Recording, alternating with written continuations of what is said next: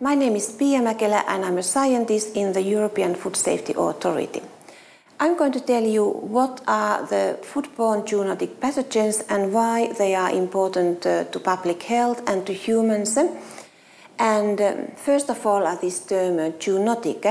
It comes uh, from the Latin term zoonosis, uh, which means uh, diseases and infections which are transmissible between animals and humans. And quite often, these infections are transmitted through contaminated foodstuffs. Um, the most important uh, foodborne pathogens uh, in the Europe are bacteria such as Salmonella, Campylobacter, and certain types of Escherichia coli. And these bacteria typically cause diarrhea in humans, but also sometimes more severe symptoms. Eh? And then we still have some foodborne uh, parasites in the EU, such as uh, Trichinella, and then of course there are also some other pathogens. Eh? Animals, eh? such as pigs, cattle and poultry, they quite often carry these uh, foodborne pathogens in their gut uh, content or skin or even in their muscles. But in most cases, these pathogens do not cause any disease in animals.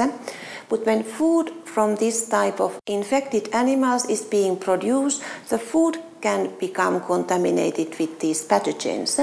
And then when humans eat uh, this type of uh, uh, contaminated food, they can get infected and get the disease. These uh, foodborne uh, zoonotic pathogens are important in the Europe, and that is because uh, these pathogens cause over 300,000 reported human cases in the European Union each year.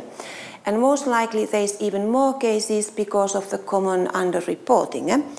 So we have actually over 200,000 reported uh, Campylobacteriosis cases in humans each year in the European Union and uh, around 100,000 reported uh, salmonellosis cases in humans.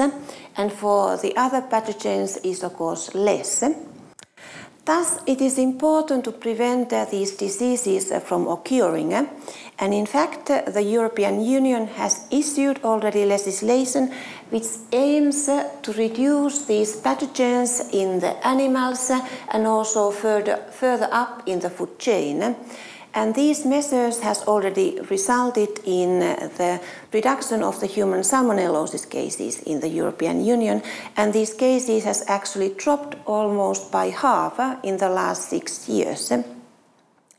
But you can also take some actions by yourself uh, to avoid these diseases.